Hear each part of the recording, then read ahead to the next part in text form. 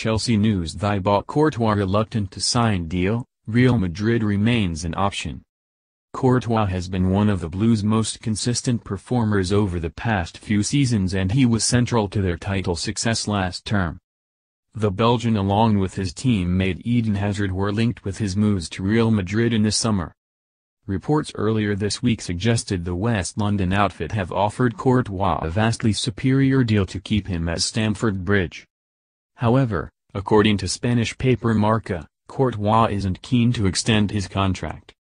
The report says the preferred option of the 25-year-old is to head back to Spain and more specifically join Real Madrid.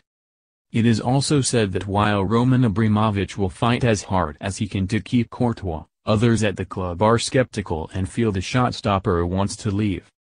Real are keen to plan for the future, although there is no suggestion they are unhappy with Keylor Navas.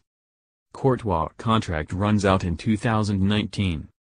Paul Merson meanwhile, has suggested that while Courtois is an excellent goalkeeper, he's not on the same level as David De Gea. David De Gea is without doubt the best goalkeeper in the world right now, he told the Daily Star. It's not even close either. Manuel Neuer and Thibaut Courtois are great keepers too but he's making sensational saves week after week. If United win the title he will have been a big reason why.